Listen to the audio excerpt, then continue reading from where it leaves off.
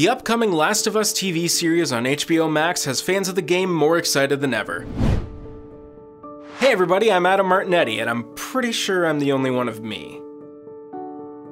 Thanks to game director and executive producer Neil Druckmann, we now know the adaptation will be even closer to the story from the first game than initially expected.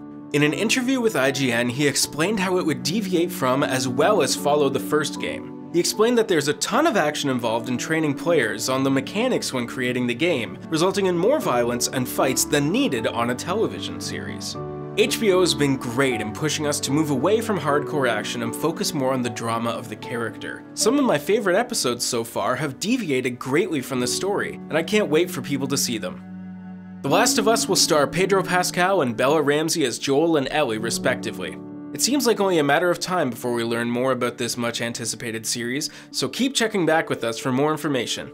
I'm Adam Martinetti, and don't forget to check out Collider.com for all your movie news, trailers, and reviews. Thanks for watching, and we'll catch you later.